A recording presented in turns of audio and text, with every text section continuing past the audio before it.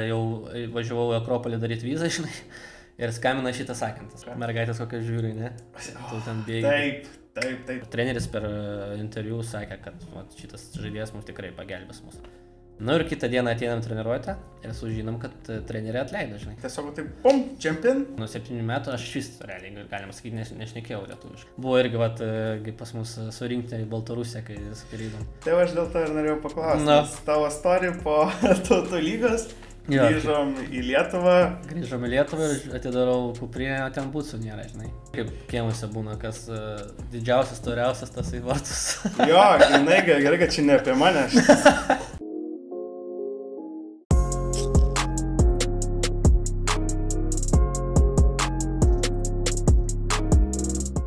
Pats žinai, kad bus futsalo E. čempionatas. Kada? Dabar? 2-2-1. pirmais, jo. Jo. Kada? Vasarą? E, Rudenį. Rugsėjai, rugsėjai spalį. Mhm. Bet blemba, nu, FIFA at- atvažiuoja į Lietuvą, man atrodo, čia visai big deal. Gal- Ne, tai faktas čia. Įdomu. O tu pats nežaidai, pavyzdžiui, futsalą? Žaisdavau. Žaisdavai, ne? Šuliai ar... Ne, žaisdavau aukščiausią lygą, žaidavau. A ne? Nu ten biški, žinai, porą gram. Bekinti. Tokia komanda Vilnius buvo. Dabar biški nežaidžiu. Viskas. Baigėsi. Ir kaip, kaip tau, pavyzdžiui, salės futbolas? Man, man patinka, bet sakau, tėvas žaidė man. Tai aš, kai vaikas buvau, tai varydavau visada žiūrėti. Labai įdomu. Pats žaisdavau, žinai, visada, kai tėvas ten bėgiodavo, aš balkonė sėdėdavau antram. Paskui, kai pertrauka, mes su Hebra visi. Op. Ir bėgam žaisti. Nu. Aš atsimenu, pas mus būdavo mokykla, aš nežinau, kas ten buvo, bet pas mus atėjo Virmantas Lemešis. Mhm. E, labai puikus žmogus ir puikus treneris. Ir jis atėjo ir sako, žiūrėkit, pas mus yra salės futbolas, gal nori Mm. pamatyti. O mes jau 10 klasė buvom. Ne, davai, bandom. Ir aš atsimenu, kai mes pradėjom žaisti salės futbolą, žiauriai smagu. Nu, žiauriai dinamiška. Ne, tai čia kiekvienam futbolininkui, vat, kas žaidžia lauko futbolą, tai salės futbolas tai labai gerai, žinai, technišką, techniką pagerinti, kažkokią supratimą, kaip gintis, žinai, vis tiek labai daug duoda. Iš tikrųjų, vat, ir brazilai, kur pažiūrėsi, ten, kur nuvažiuosi, visi paplūdimio futbolą žaidžia, salės futbolą, tai čia labai daug duoda, iš tikrųjų, kaip bet koks futbolas. Jo, ir ta reakcija, ten tu turi būti taip, aš kartu ant gaudyti. Ja.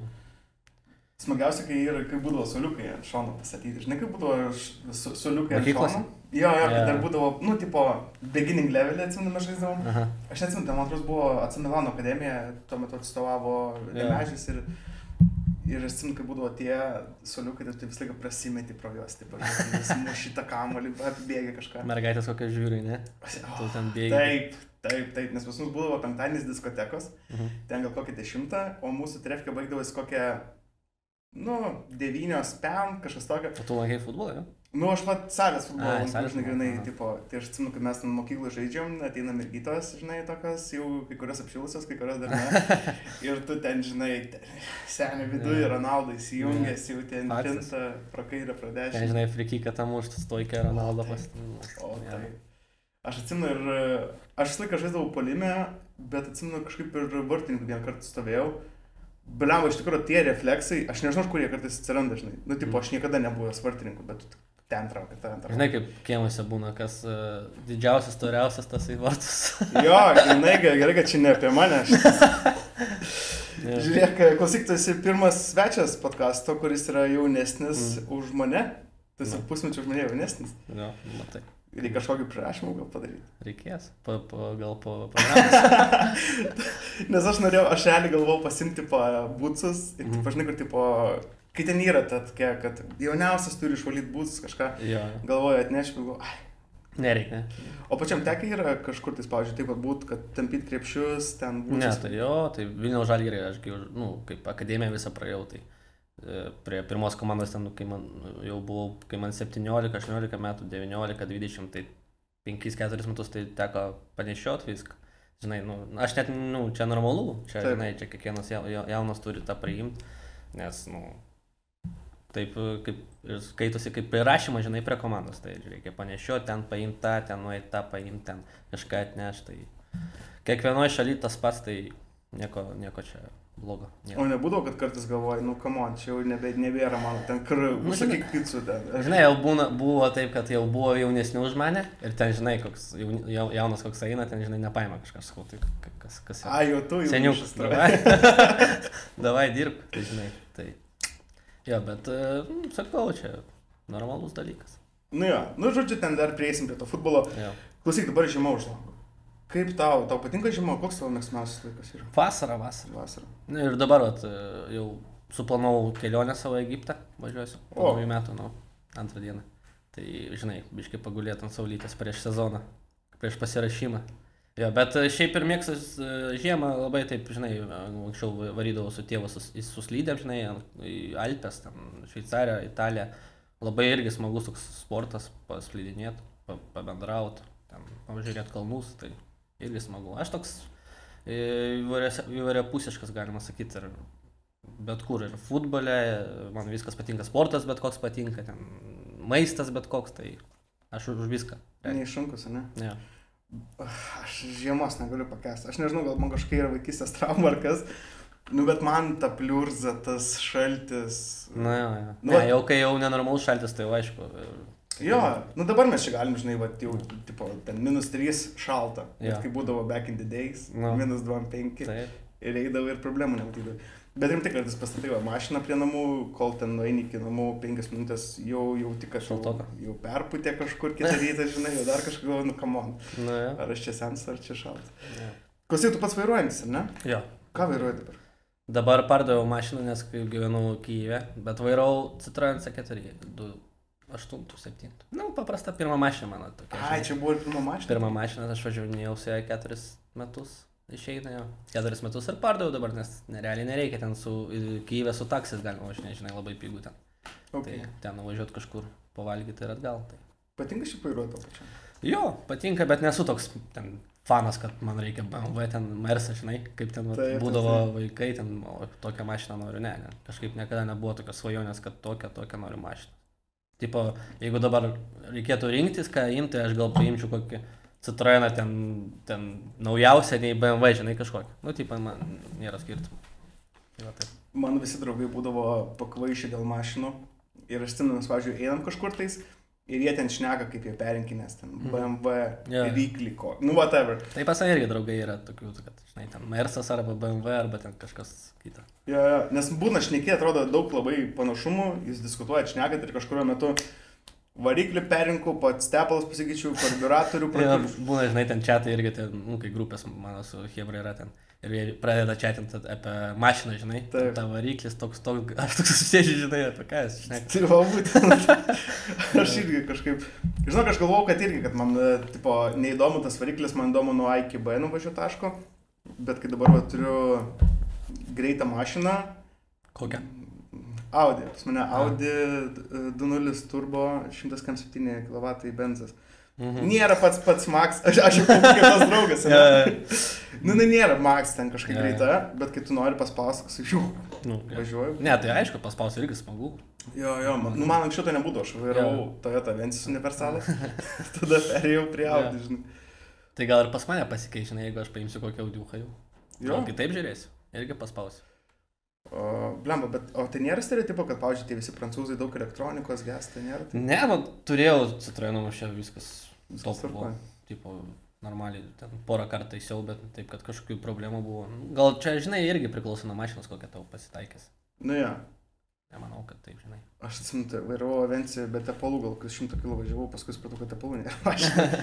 Gerai, čia jau ne apie, ne apie mane. Ne. Klausyk, e, futbolininko karjera, nu, belia kaip susideda iš tų skrydžių, žinai, iš taško A į taško B ir panašiai, rungtynės pirmyn gal. Ar esi skaičiavęs, kiek skrydžių turi daug maž per sezoną vidutiniškai? O per sezoną tai nedaug, tai surinkti ne tik. Mat, kai čia jau tris kartus mes buvom čia, kiek Mhm. mhm. išeidavo. Nežinau, gal po du kartus neskrydom. Tai tiek ir skrisdavau. Nu, dar aišku, į Kyivą nuskristi Vilnių. Nu, gal apie 10 kokių skrydžių Okay. per, per metus gal. Gal daugiau biški, gal mažiau. Bet taip pat e, mes e, Ukrainoje tai su autobusais, žinok. Ten buvo tokia kelionė pas mus į Mariupolį. Iš Kyjivo važiavam 12 valandų. Tai buvo labai sunku, žinai. Aš paskutinį kartą tai važiavau su, kai vaikas buvo ten, irgi į Dobignevą važiavam. Dobignevka buvo tok, tokia taurė. Tai prisimin- prisiminimai iš tų kelionių irgi nelabai, nes aš kai vaikas buvau toks man, žinai, keliaut, be tėvų dar. Tai šis panika, žinai, sėdžiu toks. Ir man bloga, žinai, aš sėdžiu toks autobusas, man bloga. Ir bijau visiems pasakyti, žinai, nu, vaikas. Aha. Ten treneris ten kažkas šneka, čia visi aplinkui, aš toks sėdžiu, sėdžiu, sėdžiu, sėdžiu, ką darys, laukiu, laukiu, tai žinai, sustojimą. Nu ir neišlaikiau, žinai, ant savęs viską, Ok. taip sakant. Visą Jo, negatyvą. ir paskui, ir, žinai, reikėjo, teko, teko varyti, bet ir dar vaikas durnas toks buvau, žinai, e, atvažiavom jau dabignė, viskas ten, nu, persirengėm ir tas šmutkas, kur ant savęs viską išpiliau.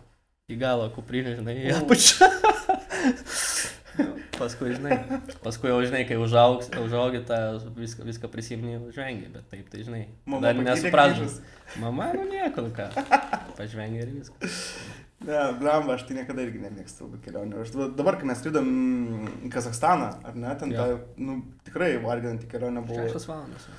Bet žinai, kaip bendrauji, kai ten kurį ką veikti ir tai kažkaip. Jeigu ten sėdi, ten muziką klausai arba filmą Taip. žiūri, tai jau pavargsti, bet kai bendrauji su visais, tai laikas praeina.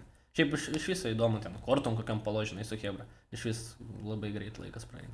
Va, kad tik norėjau klausti, kuo dažniausiai užmuša tą laiką, tarkim, Nu, anksčiau, vat, e, taip dabar pastebiu, kad jaunesnioji karta tai lab, labiau taip save, žinai. Ten kažkokį filmą, ten serialą, ten kažkas muzika, jau mažai kas bendrauja, ten, kai važiuojam kažkaip mažai kas bendrauja, bet vis tiek, aš toks, kaip užaugau, taip mes kažkaip labiau mėgdavom bendrauti visi. Aš kai vat, su jaunimo komanda Žalgiris B važinėdavau ten į keliones visokias, ten į Palangą, ten iš Vilnius ir taip toliau. Tai mes visada kažkaip bendraudavom, žinai, ten apie kažką šnekėdavom, ten žaisdavom kažką. Nu, tipo, nebuvo taip, kad kažkas sėdi ten, nu, buvo aišku, kažkai kurių, bet buvo tokia grupelė, kur mes visada kartu, ten, žinai, po varžybų, varž, varžybų metu labai stipri komanda pas mus buvo. Tai, tai taip ir kažkaip nuo tų laikų, nuo vaikystės kažkaip ir irgi labiau toks mėgstu pabendrauti, pašnekėti su kažko, vis tiek, jau tai rinktinė suvažiuoja, įdomu, ten, kas, kaip kam sekasi, vis tiek ma- ma- matytas gal po trijų mėnesių ten atgal matytas, tai įdomu paklausyti, pabendrauti. Jo, žiūrėk, nu, kal- prakalbam apie rinkinį, tai galim ir tęsti tą temą. E, Šešiai pasibaigusi tautų lyga. Kaip pats įvertini, kaip tavo akimis tai atrodo? Tai užduotis buvo išlikti. Aišku, buvo labai, būtų labai malonu išeiti, bet nedaug trūko, nedaug trūko tikrai prieš tą visą atranką tautų lygos, tai visi taip skeptiškai žiūrėjo, kad vėl, vėl kažkaip bus liūdnai, liūdnai, bet galima pamatyti, kad tikrai Urbanas treneris e, subūrė labai gerą kolektyvą, tikrai parinko tokį optimalų e, sąstatą, kuris žaidė daugiausiai kiekvieną, kiekvieną mačą. Tai galima sakyti, kad man tai viskas patiko ir džiaugiu, džiaugio, džiaugiuosi, kad prisidėjau irgi prie, prie tos rinktinės. E, Mano akimis žiūrint, realiai lūžis buvo Albanijai. Kai, Taip. kai išvažiavom, jau ten tikrai, jau kai gavom namie prieš Kazakstaną, jau Jo, Buvo jo tokių. teko turbūt ir pačiam skaityti, Taip. kas yra internete, kad, nu, čia viskas aišku ir panašiai. Ir po pergalės Albanijoje aš atsimenu, kalbėjau ir su, su žaidėjais, ir visiškai kardinaliai pasikeitė pats, nu, nežinau, žaidėjų veidas, atmosfera visai kitokia. Ir gal tai taip žinai, kai laimi prieš tokią rinktinę kaip Albanija, pažiūrėk, kur galima atidaryti e, bet kokį puslapį, ten transfermarktą ir pažiūrėti, kiek jie kainuoja, kurie žaidžia, visi serija, ten Ispanijai, ten Anglijai, kitur.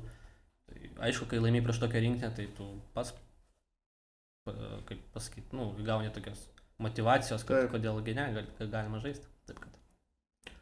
Žiūrėk, aš ir per e, rinktinių mediją dėjau dažniausiai klausiu to pačio klausimo žaidėjų, kad pagrindinai sužinoti visą atmosferą ir tavęs paklausiu dabar, tavo akimi žiūrint, kur yra ta komandos stiprybė? Jau dabar, vat, rezumuojant visą tą ciklą, kur buvo tos komandos stiprybė?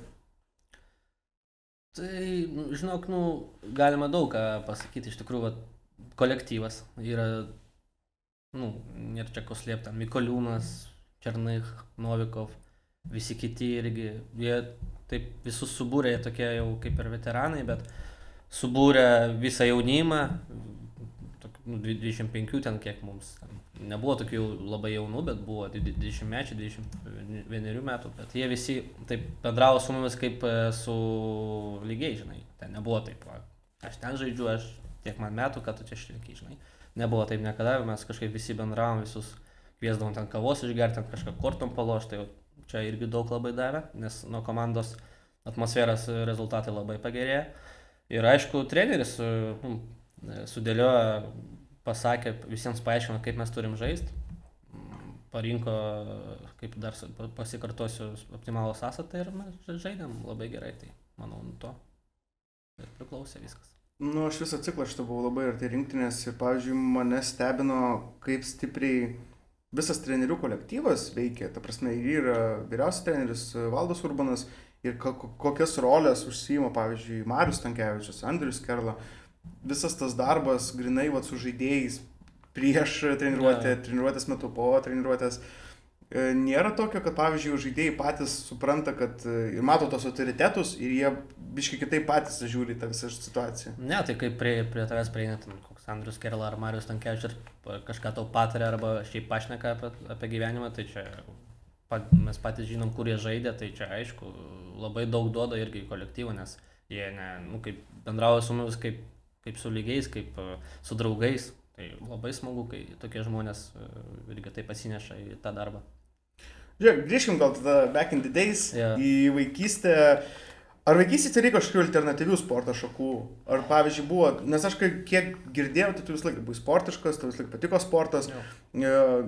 nes būna vieni pasirinka futbolą ir tik futbolą, kiti, pavyzdžiui, pasirinka futbolą krepšinį, dar pasiimu boksą ir tada žiūriu, kaip pas tave buvo. Ne, tik futbolas iškart buvo, tėvas kaip futbolininkas buvo, tai E, kai jau nuo, ten, man kai buvo 2-3 metai, tai jau tėvas nupirko mažus vartelė, vartelius, tokius, žinai, kamoliuką ir spardavau. Tai nebuvo jokių, jokio kito pasirinkimo, žinai, bet ir pačiam patikdavo visur. Tėvas ten, pavyzdžiui, futbolą žiūri, aš tam prieinu, pažiūriu irgi. Ten tėvas varo futbolą žaisti, aš su juo kartu varau. Na, nu, žinai, ir tas ir taip ir gavosi natūraliai, kad man patiko tas futbolas. Draugai visi futbolininkai ten, žinai. E, ten vienoj komandai žaisdavom, natūralu, kad ir draugai atsirado futbolininkai visi. Tai taip yra sukasi viskas aplink, aplinkui futbolą. Tai iki šiol džiaugiuosi, kad e, dar, vis dar futbole. Uh, žiūrėk, futbolą žaidė nuo 8 metų, kiek žinau, ne? 7-8 metų. Nebuvo momentų, kuomet, pavyzdžiui, grįždavau patreniruotis ir galvodavau, viso, viskas. Nu, štiek, kiek galima. Buvo situacija tokia, papasakosiu ten. Mano pirmas treneris, Mitris Kartašovas. E, labai geras treneris, puikus žmogus, iki šiol su juo bendrauju. Bet buvo su juo tokia situacija, žinai. E, nu, jis mėgdavo, toks buvo emocionalus labai, žinai. Nu, čia normalu, gal treneris pergyvena, žinai. Ir Taip. žaidėm mes kažkur, aš nepamenu, kažkur mes išvažiavom, salės futbolą žaidėm tada vaikai. Ir buvo tokia situacija, kažką, kažką aš ant padariau, gal kažką blogai sulošiau ir atsisėdau, žinai, ir jis man, man, manęs pradėjo rėkti, žinai, kažkaip pradėjo rėkti. O aš toks vaikas buvau, man, vat, kai man pakelia ant manęs e, balsą, tai man aš toks kažkoks, žinai, viskas, nenoriu, nenoriu, ne, nedarysiu. Nu ir visi atvažiavau namo, tėvui, tėvas sako, varom į treniruotę, nu, pavešiu tai, sakau, nevažiuosi. Sako, kodėl? Nenoriu. Nu ir viskas, tėvas sako, nu gerai, nenori, nevažiuok. Žinai, ir vakare tėvas e, varo ten salės futbolą žaisti. Sako, važiuosi, sakau, jo, važiuosi. Na ir ten žaid, žaid, žaid, žaidžiau su draugais, viskas, bet jis matė, kad man patinka tas futbolas ir kažkokia priežastis yra, kodėl aš nenoriu ten važiuoti, žinai. Na ir treneris, aišku, Kartašovas paskambino tėvui, ten paklausė, kas yra, kodėl taip ir taip. Na ir paaiškino, kad turbūt kažkokia situacija įvyko, žinai. Na ir treneris Kartašovas atvažiavo į tėvo rungtynės, priejo prie su manim, pašnekėjo Nu ir taip atleido, nu kaip atleido, tai žinai, visas ir paskui po to laiko jau su manimis taip atsargiai, žinai, bendravo, ne, ne, ne, nereikdavo ir panašiai, bet buvo tokia jokinga situacija, va, vienintelį kartą turbūt, kai toks buvo. Bet taip, kad minčių, kad nenoriu, ne, ne, neįsiu, nepatinka, ne, nebuvo. Ok, užsiminė dabar apie pirmą trenerį, tai iš karto gal šoksiu tenais, pirma to stelė buvo Vilnius FM uh -huh. ir buvo toksai reportažas LRT jo. apie jaunasią sporto žvaigždės Lietuvoje. Taip. Ir ten e, tavo pirmas treneris Kartašovas sakė, kad Romanovskio pagrindinis kozeris yra mąstymas ir futbolo supratimas. Mm. Kas tavo galva dabar yra tavo kozeriai? E, nu, turbūt jo, e, supratimas, tas futbolo mąstymas, aš galiu kažkokią atiduoti perdavimą, tokį, kažkokį aštrų, žinai, kur golinį, kaip sakant. E, Bet dabar irgi pasikeičiau labai kaip futbolininkas, e, pažaidžiau tokiuose čempionatuose kaip Serbijai, pamačiau Ukrainai, tai supratau, kad anksčiau gal e, tai nekreipdavau labai daug dėmesio į gynybą, žinai, ten dabar, pažiūrėjau, man, aš tokiai poziciją žaidžiu, aštuntų numerio, kur reikia ir pirmin ir atgal bėgioti. Tai, manau, patobulėjau fiziškai irgi galiu išbėgioti rungtynės ir patobulėjau gynybiškai, reikia, supratau, kaip labiau geriau reikia jungtis, gintis, kaip kur pozicija gal geresnė, ten pasirinkti, žinai, nu, patobulėjau tuose aspektuose, jo, bet šiaip kozeriai, nu, tokie patys turbūt išliko, tas mąstymas, e, perdavimo supratimas, kur atiduoti ir kaip panašiai. Tai, ja. Tai turbūt net nereikia klausti, ar, ar galima mąstymo dėka apžaisti fiziškai stipresnį ir greitesnį varžovą. Galima, galima, bet ir šio laikiniam futbolė irgi reikia dabar būti labai fiziškam. Mm, Reikia būti atlėtui, kaip sakant.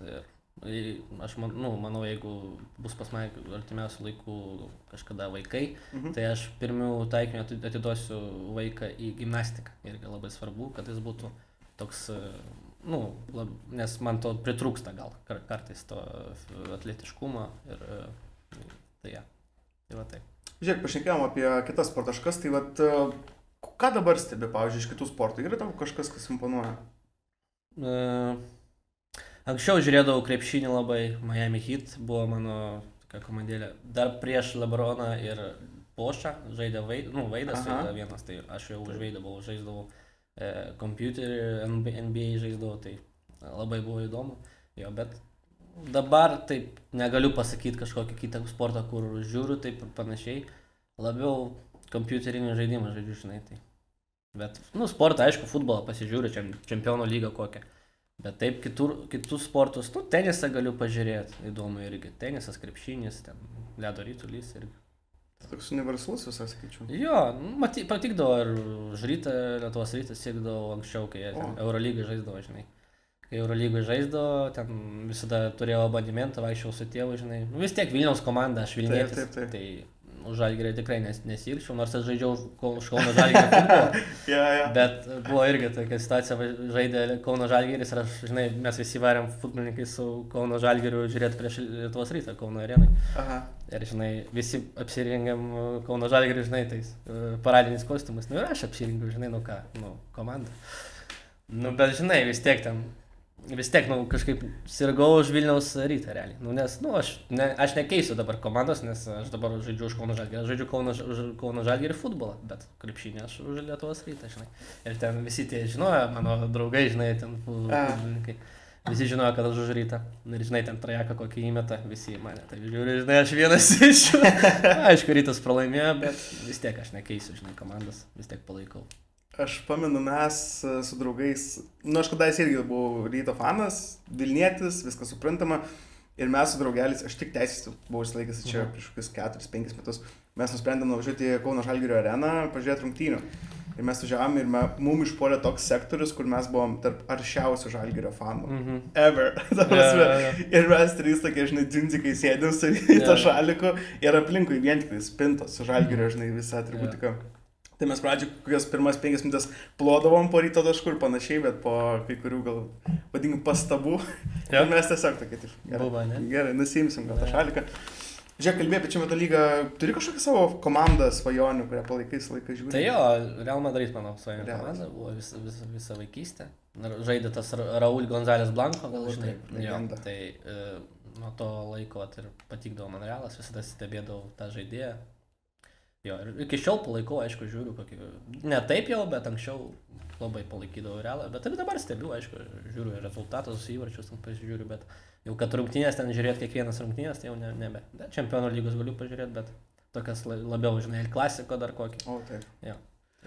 Bet e, kokia, kokia tavo nuomonė apie dabartinį realą? Nes yra labai daug diskusijų, kad, pavyzdžiui, ta komanda nebe ta, kad Zidanas ten e, nėra treneris, nu visokiausiai yra Mhm. išsireiškimų, kaip tu pats žiūri tą Ne, komandą. tai kaip buvo Zidanas e, prieš tai, kai...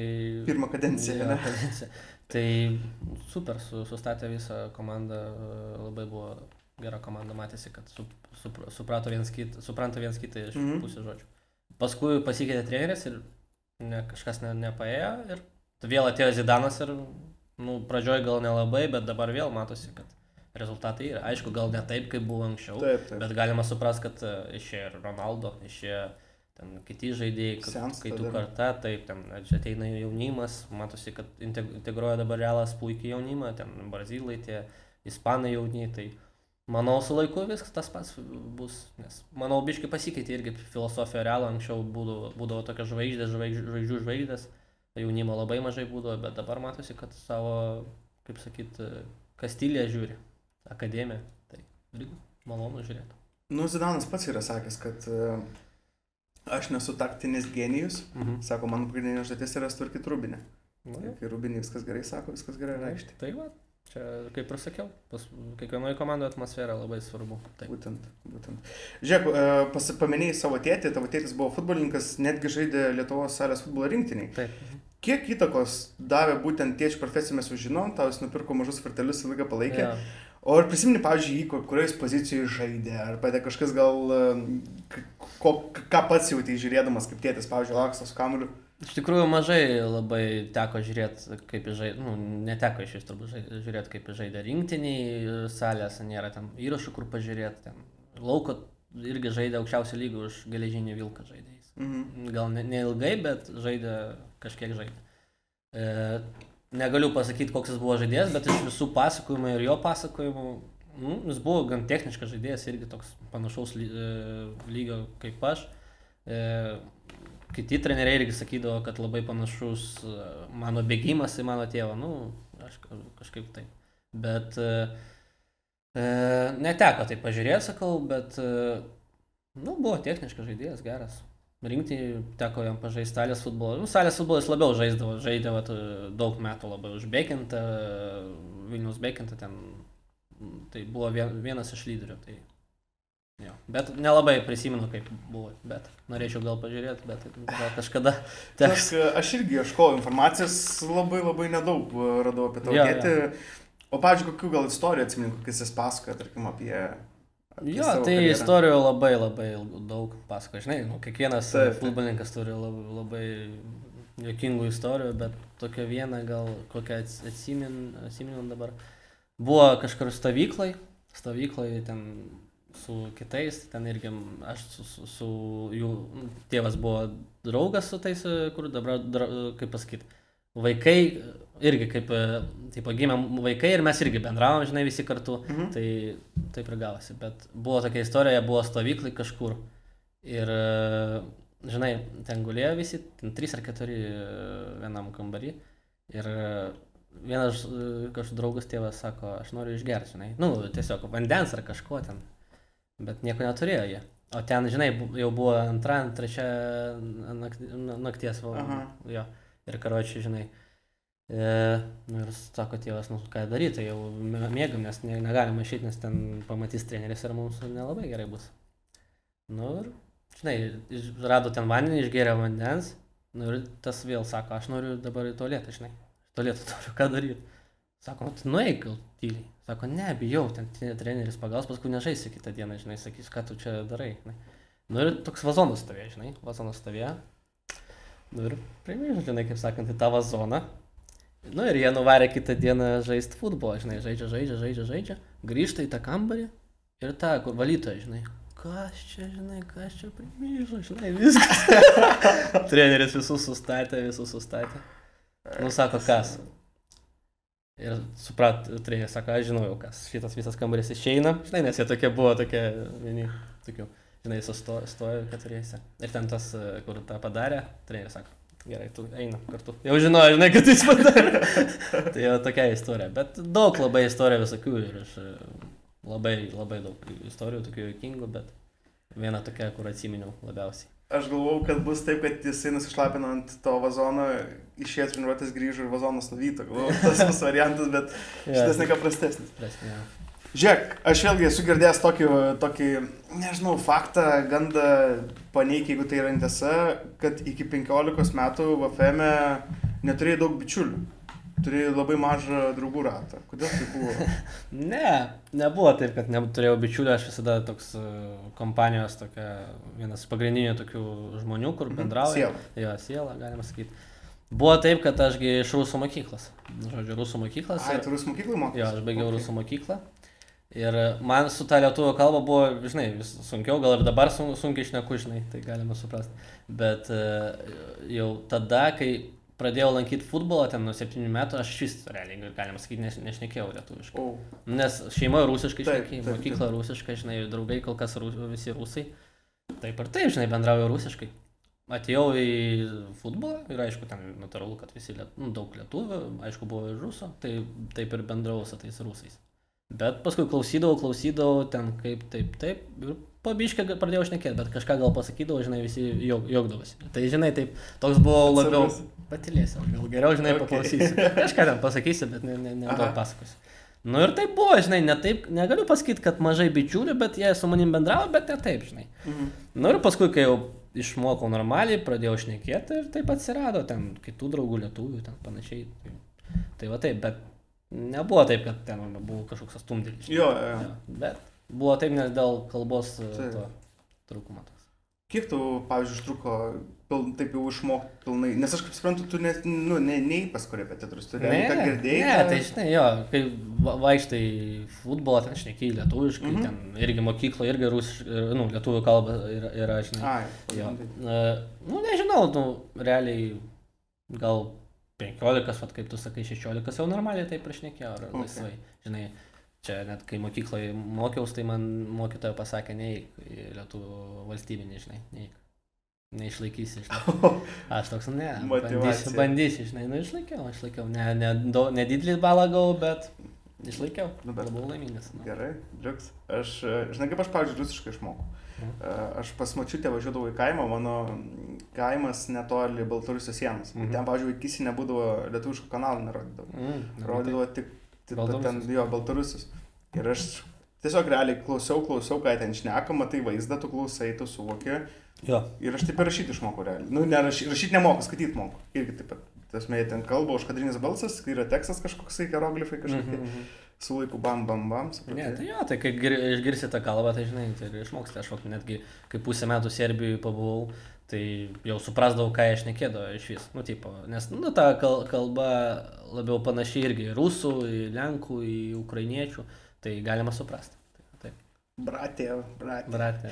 Gerai, dar prieisim prie to. E, einam gal link e, Žalgirio. Žalgirį faktiškai praleidai beveik ketveris metus, Jo. E, bet sužaidė vos 24 rungtynės. E, kodėl nepavyko ta, pavyzdžiui, vat adaptacija ta prie, prie klubo, kas tavo manimo ten ne, nepavyko įsilieti? Mm, jo. E, nu, mes pradėsiu gal nuo akademijos, tas Aha. visos Žalgiris B. Labai puikią komandą surinkom, nes e, realiai ta pirma, ta pirma komanda, ta, kur akademijos komanda buvo mūsų Vilniaus FM, žinai. Mhm. Nes mes visi Vilniaus FM perėjom į Žalgiris B.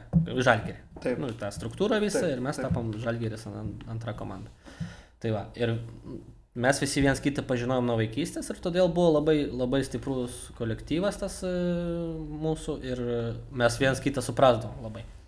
Ir natūralu, kad mes žaisdavom, žaisdavom, žaisdavom ir rezultatai buvo labai geri. Mes antro lygoje užėmėm pirmą sezoną, man atrodo, trečią ar antrą vietą, bijau suklysti. Mhm. Paskui perėjom į pirmą lygą, užėmėm šeštą ir trečią sezoną pirmojo lygoje mes užėmėm antrą vietą. Ten trūko mums iki pirmos vietos du taškai. Pirmojo lygoje. Čia O. aš 17, 18 metų, 19 metų. Tai čia labai stiprus pasiekimas iš tikrųjų. Mm, Tai va, tai ir iš tos komandos, kai mes žaisdavom tą trečią sezoną, kai užėmė antrą vietą, imdavo ten mane, Justą, toks Julius Monkus irgi e, polėjas pri- primušė ten pirmojo lygoje 28 įvarčius. Ten antrą vietą užėmė. Tai žinai, Wow. wow. jam buvo šis 17 metų. Labai buvo fainas toks e, vyrukas. Bet paskui gavo traumą kryžminių, kryžminių tai viskas baigėsi. Jo. Labai gaila, jo. Bet e, buvo labai stiprus polėjas, vienas toks geresnių, kur teko žaisti. Jo. Ir, nu, aišku, imdavo mus e, po vieną ir tada labai irgi žalgeris, galima suprasti, buvo labai, manau, stipresnis. Nesupyk žalgeris, bet buvo stipresnis, nes tokie žaidėjai kaip Linas Pilibaitis, ant Velyčkas sėdėdavo ant solo, žinai.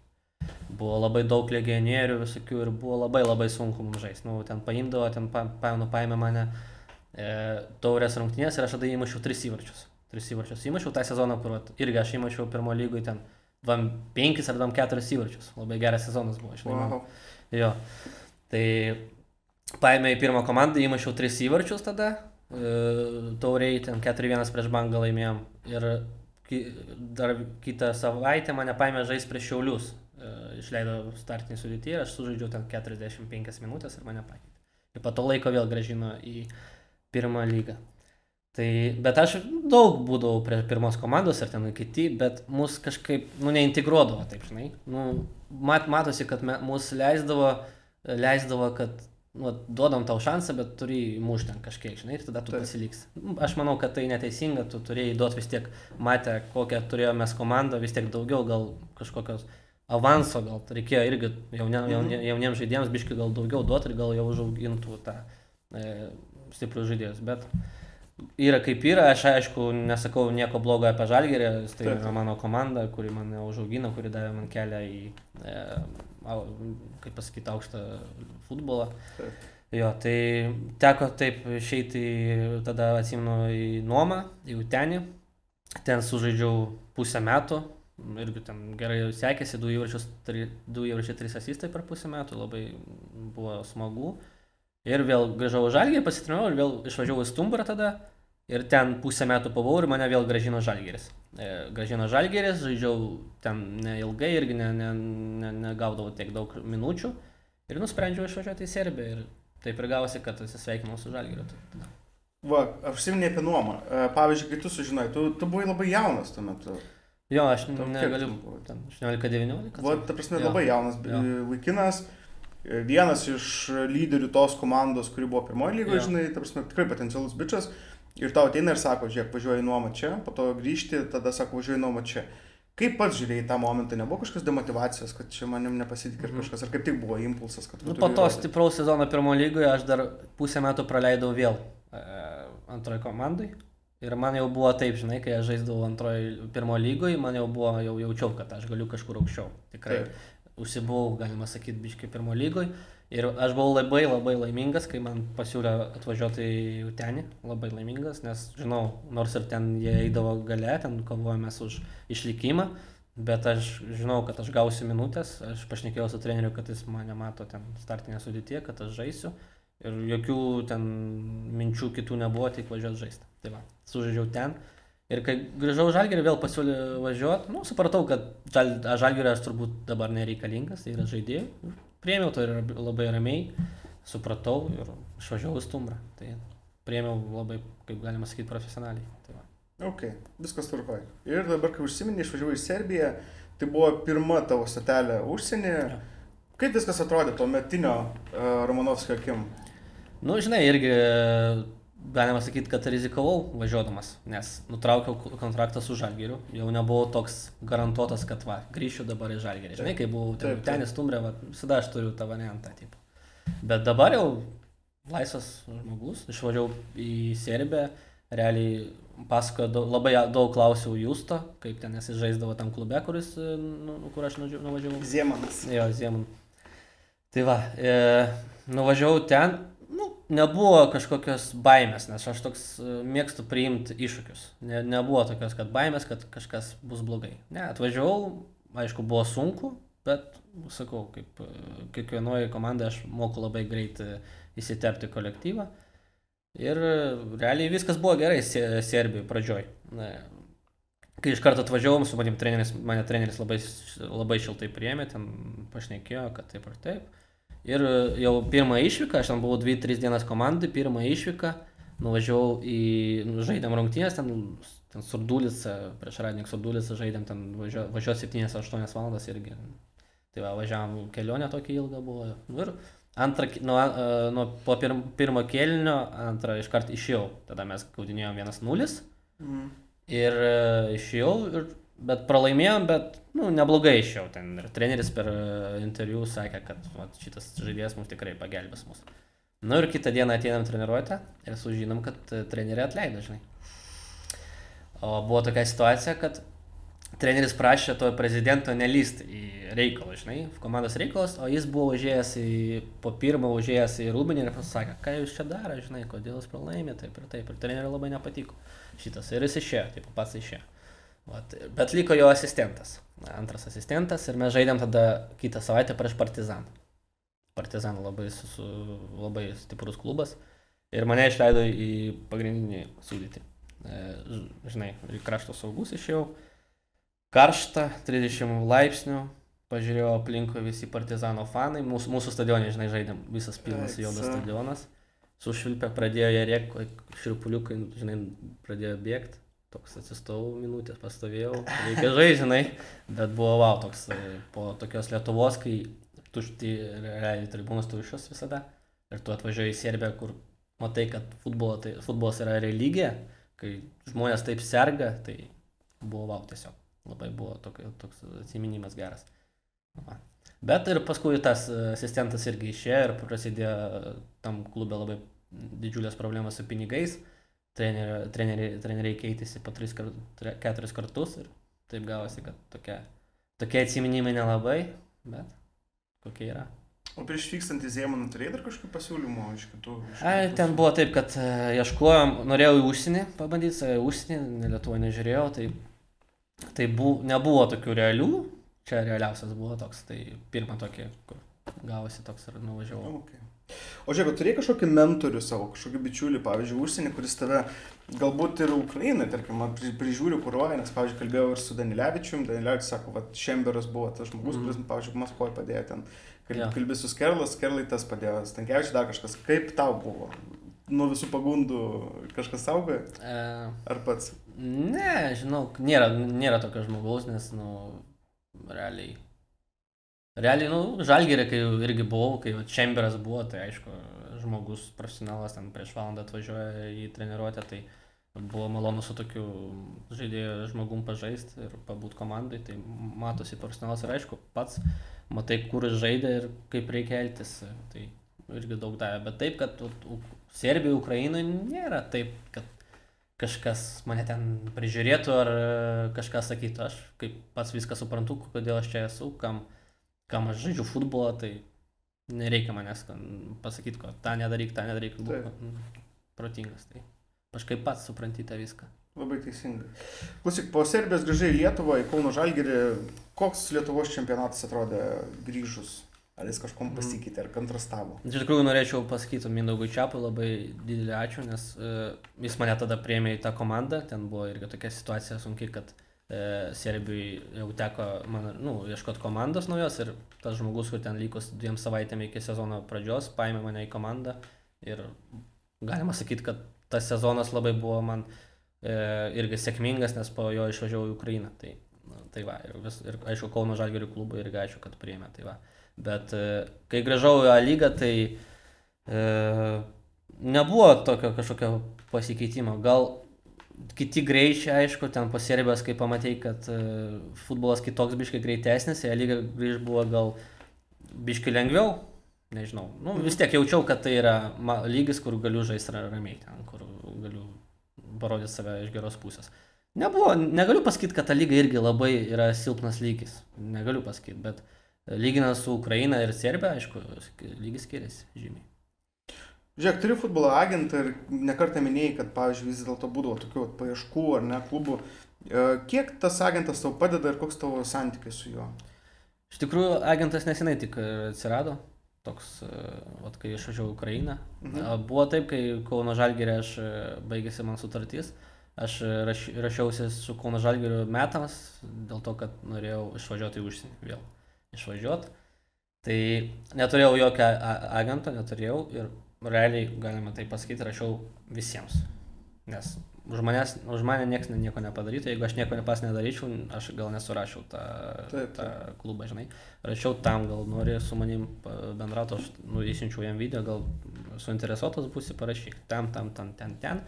Ir buvo taip, kad buvo tokių pasiūlymų, neaišku, laukimo, žinai, tą vat, irgi pan- panašaus laiko, praeitais metais vat, laukiau to pasiūlymo, be klubo sėdėjau.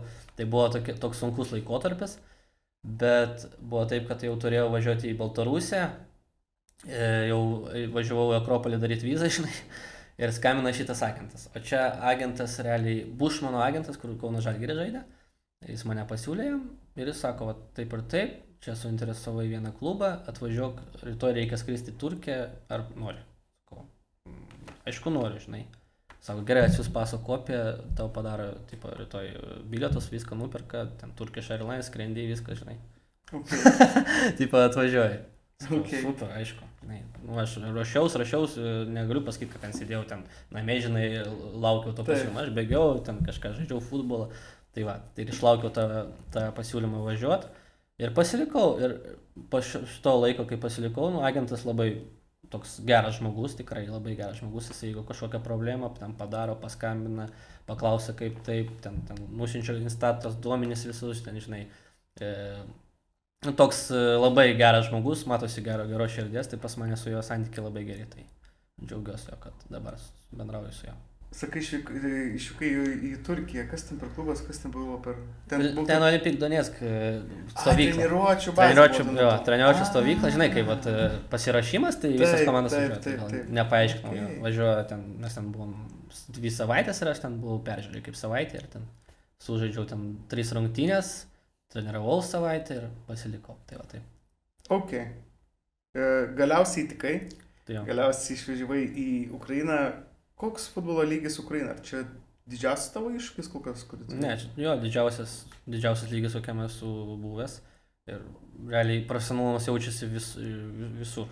Futbolo aikštė ir už jos ribų. Kiekvieną, kiekvieną dieną ten išeina kažkokios laidos apie futbolą, ten analizė turų, ten taip ir taip, ten atvažiuoja, ten jeigu treniruotė, atvažiuoja, filmuoja interviu, ten, nu, televizija filmuoja, nu, labai toks jaučiasi, kad lygis futbolo ir šalis, kur domisi futbolu, tik futbolu, žinai. Taip. Kaip pas mus, pavyzdžiui, krepšinių, tai čia ten tik futbolas. Ten, pavyzdžiui, vaikai rašinėja dėl tų maikučių. Nežinau, nu, kiekvieną dieną tikrai nesumeluosiu, nes nu, jau pradžioj dar atrašinėdavau, bet jau paskui sunku, žinai, nu, kiekvienam irgi ten atiduosi tą marškinėlį. Irgi. Klubas negali atiduoti ten nemokamai, žinai, reikia iš savo pinigų ten tą ma- maikę duoti. Na, nu, aišku, aš visada bandau kažkaip suorganizuoti, bet ne visiems išeina jo, bet, bet e, tas vat, visur susidomėjimas ir futbolo lygis labai aukštas. Jo. Gal pamė... Hipotetiškai, kiek maikučių išdalinai Ukrainos? Uh, Nu, penkias kokias aš Penkias. išdalinau, jo, penkias per metus išdalinau. Jo. Nu, atvežiau, aišku, draugams, šei, Taip, šeimai, taip, tai taip, taip. galima daugiau sakyti, aišku. Ten. Jo. Bet taip, tokiems paprastiems žmonėms, tai pa, pa penkis, šešias. kažkur. Bet ta kultūra yra. Pavyzdžiui, atsimenu, kaip po mūsų pasinių rungtynių Kazakstane, tautų lygoje irgi ten po spaudos konferencijos prie žurnalistai, kokie šeši ir septyni Aha. sako, galima, Nu. bet, kur, bet kurio žaidėjo maikutį, Jo, galima. Ir galvoju, tai o, čia jo, visur, žinok, ir Baltarusijai, Rusijai, Rusijai, Ukrainai, vat, Kazakstane, Mhm. kitur, kažkaip labai, kažkaip, nežinau, e, kitaip nei Lietuvoje. Lietuvoje, aišku, irgi dabar vaikai pra- pradėjo prašyti maikės, e, irgi, bet ne taip kaip anksčiau, kitur. Gal mes tokie tiesiog santūrus, labai nenorim čia. Gal jo, irgi ment mentalitetas, žinai, Ja, ja. skiriasi, gali būti, aišku. Kaip pačiam pavyko adaptuotis klube, nes vis dėlto visiškai, galima sakyti, žalias ar ne, išvyksti į Jo. svetimą miestą, į svetimą komandą, nieko nepažįsti, kaip, kaip praėjo ta klimatizacija. Ai, žinau, kai vat, buvo tokia, nežinau, kai važiavau tą Ukrainos komandą, tai žinau, kad bus labai gerai viskas. Nes šneku rusiškai, ten visi rusiškai šneka, ten nu, Donetsko komanda, tai realiai ten rusų kalba populiaresnė nei e, ukrai, ukrainietiška. Pavyzdžiui, vat Lvove, kokiam e, Lviv komandai, kur žaidžia Donatas Kozlauskas, tai ten daugiau galima išgirsti ukrainietišką kalbą. Mm. Bet vat, ten vat, Donetskė, Kyivė, Kyivė irgi kai gyvenu, vat, mes bazuojamės Donetsko komandą, bet bazuojamės Kyivė, tai Kyivė gyvenu, tai realiai bet kur, kur nenueisi, rusiška, rusiškai visi šneka. Ir pastoviai šneka. Tai jokių problemų nebuvo, jaučiuosi kaip namie iš tikrųjų tikrai. E, Šneku laisvai su visais, ten galiu paaiškinti, ką noriu, kam noriu, ten nu, nėra jokių problemų. Ir šiaip nebūtų problemos ir nuvažiuoti kokią šalį ten, kur nešnekėtų rusiškai, nuvažiuočiau, šnekėčiau angliškai, tai irgi nėra problema.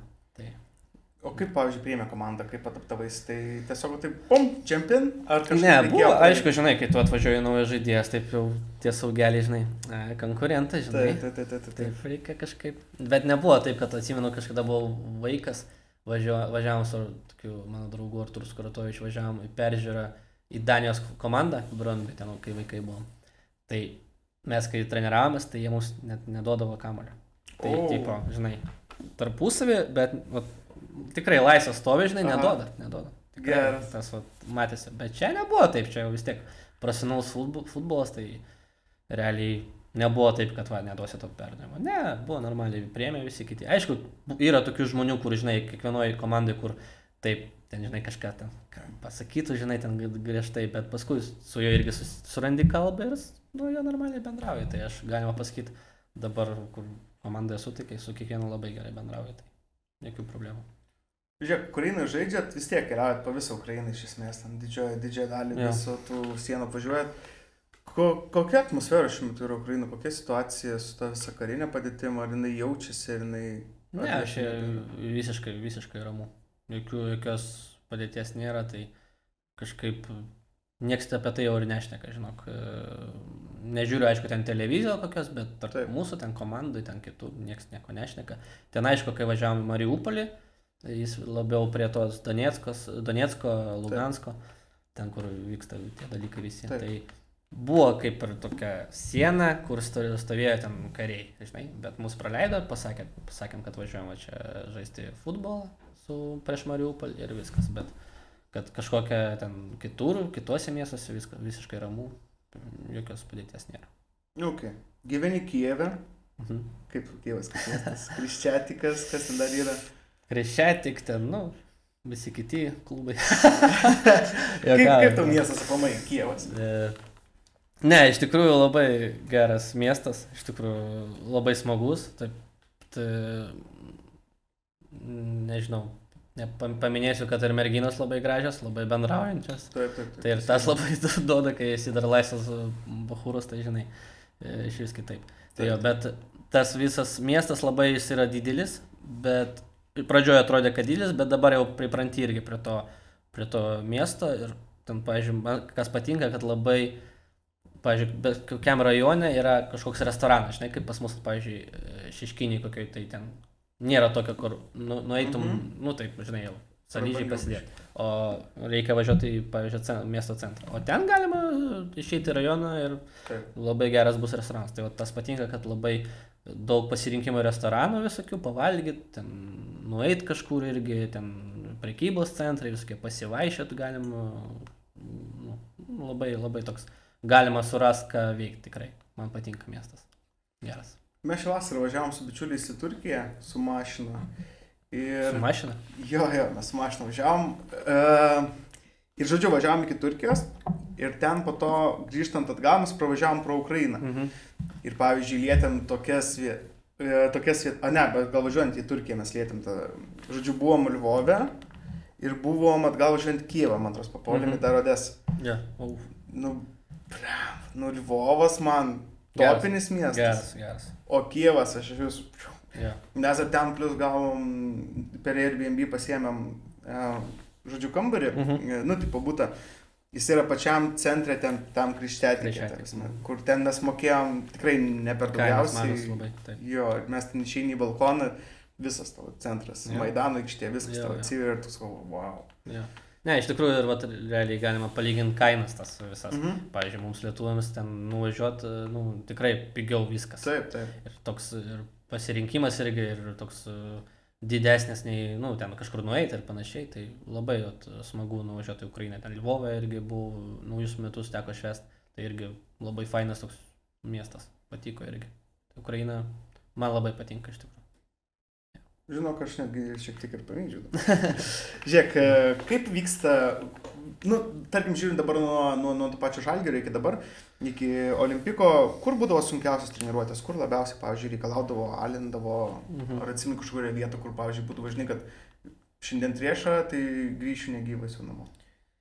Puh, sunku pasakyti, sunku pasakyti, prie kokio čia trenerio buvo. Mm. Dabar vis, vis tiek pasikeitė tas visas požiūris į tą treniruočio procesą, žinai, pavyzdžiui, pas mūsų Ukrainai, tai tikėjausi, kad mes ten bėgiosim labai stipriai, nes Ukrainai tai tas fiziškas futbolas skaitosi. Bet kažkaip viskas su kamoliu, pas mus treneris buvo pradžioje dar ispanas, tai ten šis buvo tokios treniruotės su kamoliu, jeigu ten reikia užkrauti organizmą, tai per futbolą viską, žinai, tai va taip. Ir tas jo matymas ir liko iki šiol, ten ukrainietis treneris ir taip ir bando toliau. Bet taip anksčiau, kad kažkaip bėgiodom, negaliu pasakyti, kokioj būtent komandai ten prie kokio, kokio trenerio. Gal kai buvo Žalgeris, e, kai buvo Marek Zup, tas Lenkas, Mhm. tai vad prie jo teko pabėgioti taip stipriai. Jo, prie jo, pamenu, bėgiojom, bet taip, kitur negaliu pasakyti kažkur. Ok. Okay. Sunkios treniruotės buvo. O, pavyzdžiui, kiek turiu treniruočio olimpikė, tarkim, per dieną ar ten per savaitę, kaip jūs skaičiuojate? Tai dabar, vat, kai čempio, čempionato metu, tai po vieną treniruotę, ten kiek penkias tre, dienas treniruojamas ir še, ten sekmadienį ir šeštadienį varžybas. Rungtynės. Tai va, jo, bet kai pasirašymas, tai va, Turkijai bus, tai va, ten teks pa- padirbėti po dvi dienas, po du kartus į dieną, ten rungtynės, tai čia normalu, kai pasirašymas reikia daugiau biškės skirti tam laikui. Jo, jo. Žiūrėk, aš stebiu tavo pasirodymus Ukrainoje, aš stengiuosi visus planai žaidėjus stebėti, Jo. kaip jiems sekasi. Pavyzdžiui, į rinktinę tu atvažiuoji kaip olimpiko startinis tie žaidėjas Mhm. ir grįžti kaip atsarginis. E, Kaip vyksta ta konkurencija klube ir kaip tu, pavyzdžiui, grįžęs išsikovoji tą vietą atgal? Jo, buvo taip, kad e, jo, buvau pagrindinės žaidėjas žaidėjas, atvažiavau rinkti ir e, gavosi taip, kad iš vis neišėjau žaisti, ten kiek mes žaidėm trys rungtynės. O tuo metu, kai aš buvau rinkti, mano komanda žaidė draugiškas rungtynės, žinai. Ir žaidė prieš Šaktior Donetską komandą. Ir mano konkurentas įmušė įvartį ir atidavė asistą, žinai. Jo, atidavė asistą ir įvartį įmušė ir atvažiavau. Sako, treneris, nu, nežaidai, piškit, reikės tau padirbėti taip fiziškai, pabėgiot gal vienam. O, nu, ruoškis, bet nieko negarantuoja kol kas. Nu, ir viskas pas- pastatė tą žaidėją, mano jis- mes pradėjom kažkaip laiminėti, laiminėti ir natūralu, kad ta, to sudėties nekeis. Ir teko palaukti, aišku, buvo irgi nemalonu, taip sėdėti, toks laikotarpis buvo ne iš linksmiausių, bet, nu, čia futbolo dalis tokia, žinai, vieną dieną tu gali žaisti, kitą dieną sėdėti ir išeiti ten 10 minučių, bet e, dirbau visada, bandžiau įrodyti, kad aš esu vertas ir galima sakyti, kad galėtų dabar metų, met- metų kai žaidėm čia paskutinės trys rungtynės, tai gal neblogai minučių ir teko įmušti įvartį, tai labai džiaugiuosi, kad užbaigiau taip. Jo, metus. Vadinamai į rūbinį. Jo, į rūbinį, su, taip. su įvarčiu. Žiūrėk, kokie tavo mm, paties santykiai yra su tuo, vadinkim taip, į X konkurentų? Jūs uh, juokaujat, bairuojat, ar kaip tik tai jaučiate tokia įtampa? Nu, biški jaučiasi, žinok. Jaučiasi, E, ne taip, su juo aš taip pat e, komandai ir nelabai taip kažkaip, nu, bendrauju, bet ne taip, kad kažką, A. žinai, kažkur ten pajokauti ir panašiai. Mes taip su juo santykiai normaliai galim pašnekėti apie kažką, paklausti vienas kitą, bet taip, kad jis ten mano draugelis, žinai, negaliu pasakyti. Bet aš jam nieko iš vis, nieko blogo nelinkiu niekada ir visada jį palaikau, nes man svarbu komandos rezultatai, tai, tai nu, tokie tiesiog kaip kolega, žinai, komandai Mhm. kolega. kolega. Tok- Toks ir bendravimas pas mus. O jis vyresnis už tave? jis- Metais vyresnis. Ai, metais. Čia iš viso, realiai tetatet. Jo. Bet normalus dalykas, dar dabar, kai atvažiuosim į tą Turkiją pasirašymą, tai atvažiuos naujų žaidėjų ir bus vėl ta, tas konkurencija ta pati, nu, kaip viskas iš naujo, iš naujo lapo, tai teks dirbti ir įrodyti treneriui. Ok. Žiūrėk, e, man įdomu, realiai išgirsti ta- tavo nuomonę. Legionieriaus duona. Mhm. Kokia jį? Nu, jeigu žiūrint, e, jeigu žaisti Lietuvoje ir, ir užsienį kažkur, tai tik į užsienį, sakyčiau, nes mano svajonė yra žaisti geram čempionate, aš, mano svajonė yra žaisti Ispanijai, bet kokioj komandai, negaliu tam sakyti, kad va, Barcelona, Realas, nu, ten netgi norėčiau pabūt gal- ir antro lygų Ispanijos pa- pamatyta, nu, kažkodėl atraukia tą Ispanijos čempionatas tas. Tai mano svajonė yra tokia, kad žaisti Ispanijai. Ir taip ir norėjau visada, vat, kai žaisdavau Lietuvoje, visada žiūrėjau į užsienį, ieškojau kaip išvažiuoti. Teko, pa- pavyko išvažiuoti į Ukrainą ir iš Ukrainos, mano manimu, kad žymiai, žymiai lengviau pakilti tą lygį, kur aš noriu būti. Tai viskas priklauso tik nuo manęs ir žiūrėsim, ar pavyks. Bet Ukraina iš tikrųjų yra labai labai stiprus čempionatas. Aš net, e, ne tik, kad negalvojau, bet aš kol nepažiūrėjau, pavyzdžiui, į jūsų klubo rungtynių, nepažiūrėjau, tarkim, dabar ką daro tas pats Šachtiorius, Jo. ar net, tas, na, wow. Jo, tai kai ir važiavau, tai žinau, kad e, čempionatas dešimtukė e, Europos, jo. Bet kai pradėjau žaisti, iš, iš tikrųjų daug žiūriu ir Rusijos čempionatą, irgi būtų malonu ten pažaisti, būtų įdomu. Tai va, bet e, lyginant su Rusija ir Ukraina, tai Rusijai žymiai, žymiai, žymiai didesni pinigai, žymiai. Bet tas futbolo lygis nesiskiria. Aš manau, jeigu ten mūsų komandai mesti į Rusijos čempionatą, mes irgi gerai eitume. Mhm. Tai irgi priklauso nuo turbūt. Jeigu būtų didesni pinigai Ukrainai, gal dar jis būtų didesnis, žinai, tas lygis, bet vat pažiūrint į Dinamo ir Šaktior, ten, aišku, tos sąlygos ir atlyginimai labai didžiuliai, Taip, gal, taip. pagal, gal, ski- jeigu skirs pagal mūsų tas Mhm. atlyginimus komandos. Tai žiūrint va ir Šaktior, kaip jis nugalėjo du kartus Real Madrid, tai jo, labai stiprus lygis tikrai. E, Ukrainiečiai plamai labai taip gražiai integravo legionierius ir sumaišė su vietiniais. Ir, tarsi, kai yra, aš manau, kad čia gal toksai nelogiškas pavyzdys, bet man tai yra su Vyčiu, Kauno Vyčiu, futsalu. Mhm kur irgi atėjo daug stiprių legionierių ir jie automatiškai pakėlė tą kartelę. Taip. Jeigu nori išmušti legionierių, žais geriau. Ir dabar žiūrint, tas vyčių pagrindas yra mūsų rinktinė. Jo. Ir tas pats yra realiai ir Ukrainai, kad tie legionieriai, jie ant tiek pakėlė kartelę, kad tu turi juos arba numušti, arba tai nežemiau. Jo, bet žinai, jo, taip kaip tu teisingai sakai, vat, kiekvienoje komandoje, jeigu tu jau imi, pavyzdžiui, legionierių, o ne vietinį žaidėją, jis turi būti stipresnis už tą vietinį. Pas mus Lietuvoje biškito ir man atrodo pritrūksta, nes kartais mūsų klubai pasiema tokį legionierių, kuris nu, tikrai nėra stipresnis už kažkokį lietuvį, galima lietuvį paimti. Tai va, bet Ukrainoje tai yra taip, kad jeigu tu įmėjau legionierių, reiškia, tu jau matai, kad jis gali iššauti, kaip sakant. Tai dėl to, kad Ukraina, jeigu jau yra legionierius, tai jie taip atidžiai įstebė, nes yra ir limitas, e, kažkiek turi žaisti mm -hmm. ukrainiečių, aš ne, ne, bijau sumeluoti, tai va. Tai jo, dėl to irgi turbūt ir tas lygis geresnis čempionate. O nesijaučiu, pavyzdžiui, pačiam to kartais to tokio, kad slegia, kad aš legionierius, aš dabar turiu išeiti, kadangi dar plus žodžiu poli, po, polimo grandyje, aš turiu čia daryti kažką panašiai. Nežinau, kai išeini, tai realiai negalvoju apie nieką. Aš tiesiog žaidži futbolą, kaip moki žaisti ir nesu toks žmogus, kad va, reikia žaisti, būtinai reikia sužaisti, reikia įmušti įvartį. Ne, tiesiog išeini ir žaidži kaip išeis, aišku, norisi visada geriau, bet... Tai kaip išeina, tai nėra tokio, kad galvoja apie tai.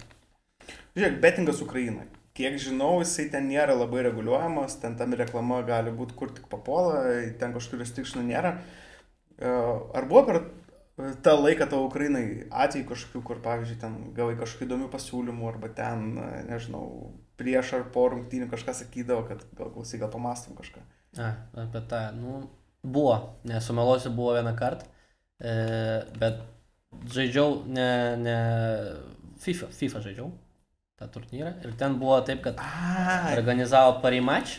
Taip. Parimač. E, tai Čia betingo kompanija. Betingo kompanija, jo. Ir e, žaidžiau, nu, laimėjau pirmas rungtynės ir buvo taip, žinai, užėjai į parimač, buvo atskiras laukelis, tipo FIFA. Ten FIFA tas turnyras. Ir gali dėti savo stavkės. Tam, pavyzdžiui, ant manęs labai didelis buvo kofas, nes uh, aš išrinkau Lyon, ne, nu taip gavosi, kad man atiteko Lyonas, o ten visi kiti Barcelona, Realas ir žinai. Nu, aš išanalizavau tą komandėlį ir pradėjau žaisti. Ir man pirmas rungtynės buvo prieš Real Madrid, žinai. Ir aš laimėjau ten labai didelius skirtumų ir, taip, žinai, visi pradėjo rašyti, va, gal jų šitą reikia statyti, žinai. Nu ir buvo taip, kad e, aš tuo metu gyvenau baziai ir buvo labai blogas internetas ir važiavau pas e, mūsų operatorių į, į namus ir kitas iš mano komandos yra, kuris dalyvavo tam turnyrė, atvažiavo irgi žaisti. Jo, aišku, dabar jau nebėra komandai, bet buvo tokia situacija, mhm. kad jis man pasiūlė padaryti, žinai. A, jisai pasiūlė. Jisai pasiūlė padaryti, tai padalinam, žinai. Aš toks atsisėdau, berniuk sakau, gal nežinai. Tai, va, tai buvo tokia, va, tik tokia va, vienintelė, vienintelis toks pasiūlymas, o ačiū Dievui kitur, vat, kur žaidžiu futbolą vat, profesionaliai, tai niekada nebuvo tokių pasiūlymų. Ačiū Dievui, aš linkiu, kad tokių ir nebūtų. Jo, jo. Žiūrėk, prakalbom apie FIFA turnyrą, tai papasakok plačiau, kas čia buvo per turnyras. Kaip žinau, čia buvo futbolininkai prieš blogerius jo. FIFA turnyras, ar ne? Taip. Jo, organizavo parimą, aš kaip pasikartosiu. Jo. Iš kiekvienos komandos ten po du žaidėjus paėmė ir blogerius kažkokius ukrainiečius. Na nu, ir taip padalino, burtus padarė, kas su kuo, kaip su kuo. Nu ir man, va, sakau, teko žaisti su Verniaifis, toks olimpinis, olimpinių žaidinių, nu, med, nu, ten, man atrodo, auksą laimėjęs jo, ten gimnastas. Ukrainos. Nu jo, nesuprantu, kodėl jis atėjo žaisti, nes aš ten nugalėjau 12-0, žinai, dviejose, nu, du, du grai, tai tu iš tų grai bendras rezultatas. Jo. Na, na, na ir taip pat gaudavosi, kad žaisdavau prieš, paskui jau žaisdavau prieš futbolininkus ten.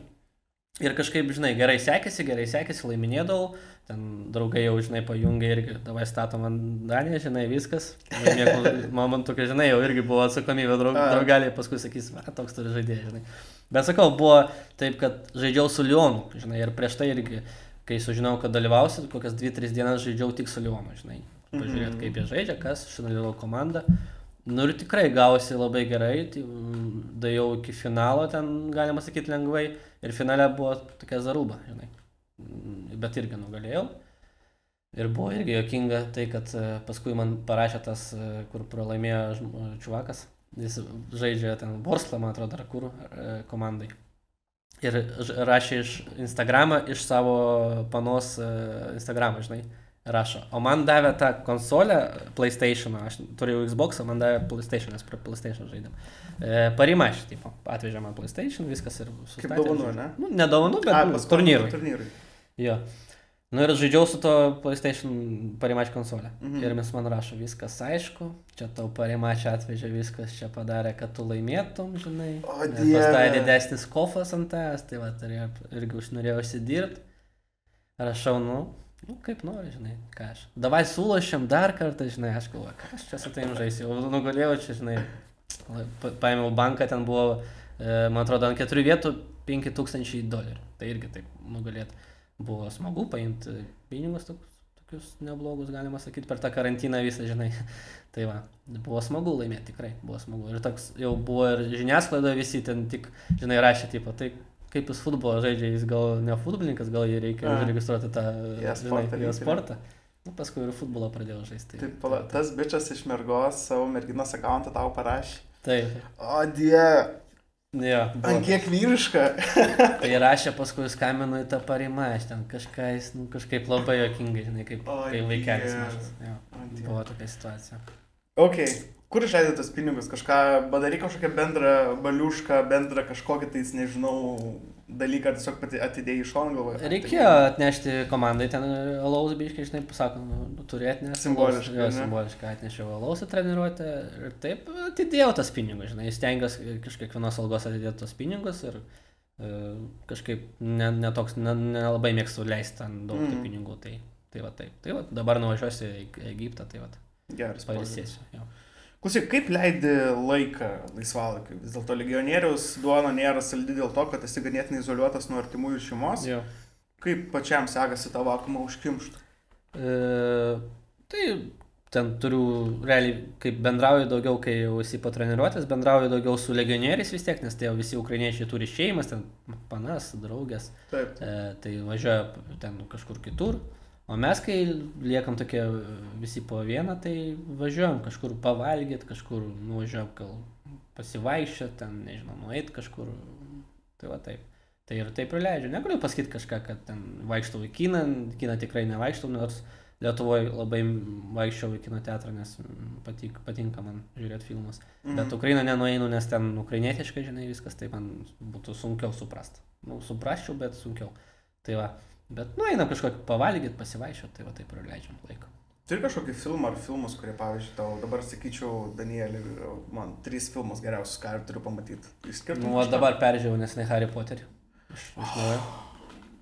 Tai yra klasika. klasika. O dabar... vienas namuose beveik tas. Jo. Bet Harry esi fanas. Harry Potterio? Ar čia Ne tai, kad pas, galiu pasakyti fanas, bet labai patinka. Nes realiai, kai išėjo tas pirmas filmas, man buvo penki metai.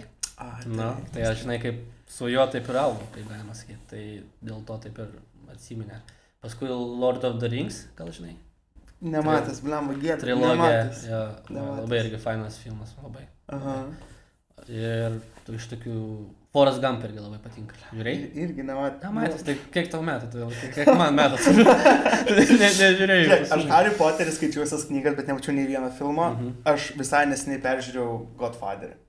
Nežiūrėjau, Godfather nežiūrėjau. Geras? Ja.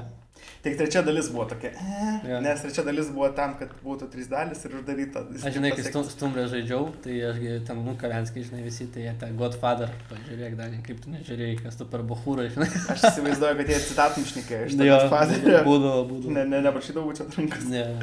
Žiūrėk, em, žinau, kad dar mėgsti kompiuterinius žaidimus. Jo. Žaidi Call of Duty, Mhm, Warzone žaidžiu, jo. Warzone. Tai yra tavo pagrindinis tas dalykas, kur tu, viso, šiandien tik tais Warzone'as, ar yra dar kažką tas, ką paraleliškai žaidė? Ne, tik Warzone. At, e, buvo taip, kad e, per Xbox atsirado tas PUBG, Player no Battleground, ten tas, Mhm. tas pats realiai e, dalykas, kur skrendi su to Lėktuvu. jo, ir šokį ir paimi, pradedi rinkti ten daiktus.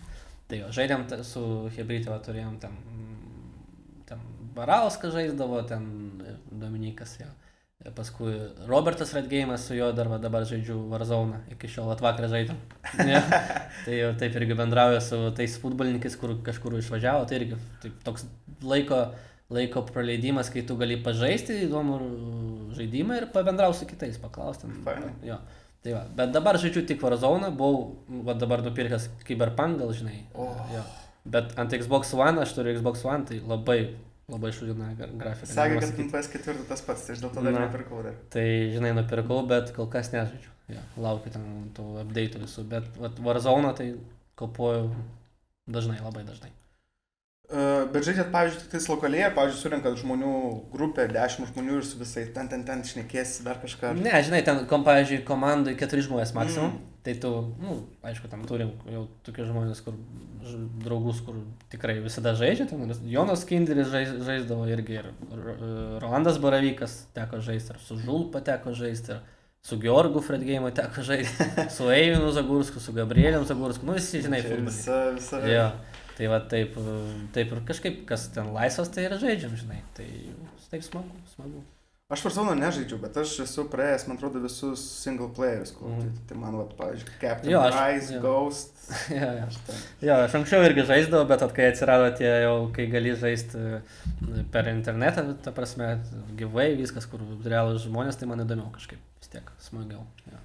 Ok, bet už realiai savo malonumui nėra taip, kad, pavyzdžiui, analizuotum e-sportą ten, nes aš žinau, kad Ukraina tai e-sportas yra visai kita industrija, ten ja. yra dideli pinigai, didelis sudomėjimas pačiam neteko stebėti, pavyzdžiui, CSGO, Natus, Vincer. Mano draugai, vat, Justas Lasitskas ir, ir, nu, geras draugas, ir toks Haraldas Šitlauskas, jie legendiniai, legendiniai futbolo atstovai. Nu jo, jie, jie labai stebė tas visas aspektus. Jo, ten, o... Lola, Lola. Ai, Lolas, man aiškiai toliau. Jo, tai Bet... jie ten stebė, ten žiūri, ten, tai jie. Bet aš ne, nežiūriu. Tai. Kartais būna per YouTube, ten paleidžiu, ten kokį Varzoną, ten irgi buvo taip. turnyrai visokie, bet taip, kad galiu, negaliu pasakyti. Nu, aš žinau, Navį, aišku, žinau, ten, dar kai buvau Lietuvoje, žinau, kad tai yra tokia jo. komanda jo, tai Ukrainoje.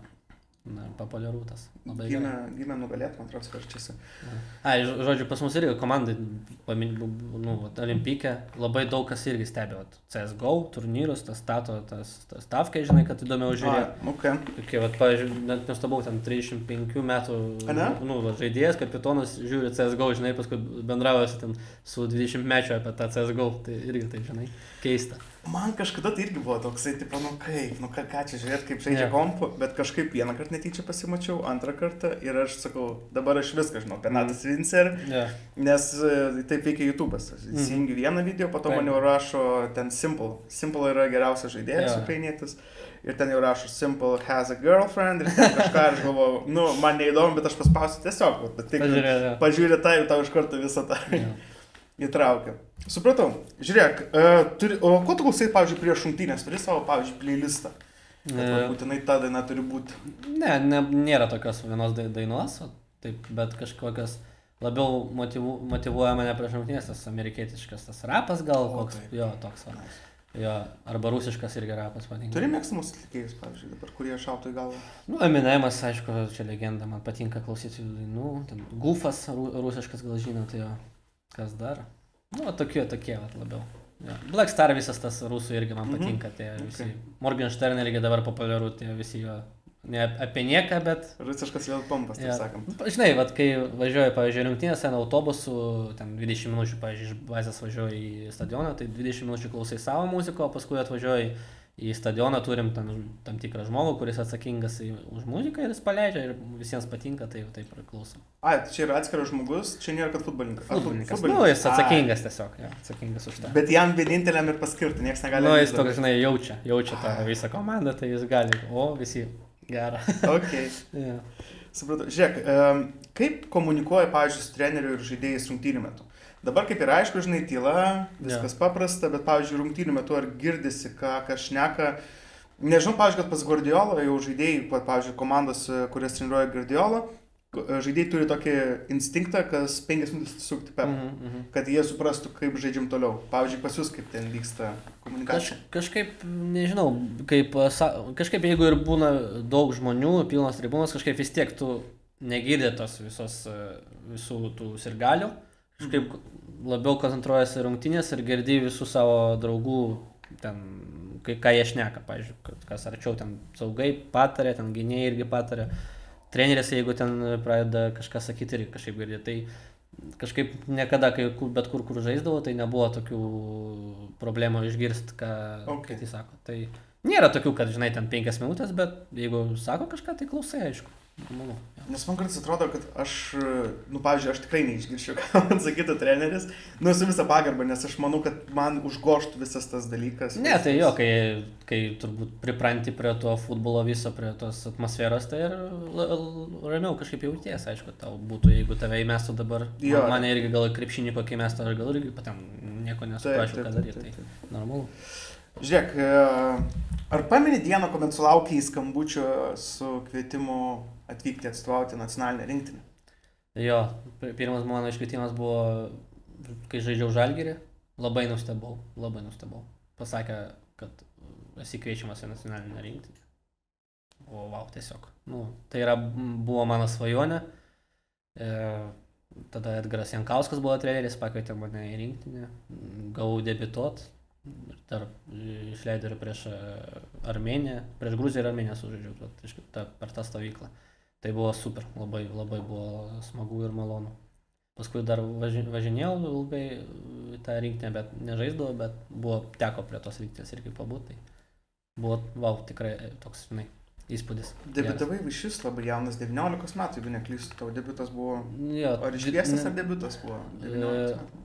Ne, palauk, čia buvo 2018, tai man buvo 2 vieneri, man atrodo jau. 22 vieneri.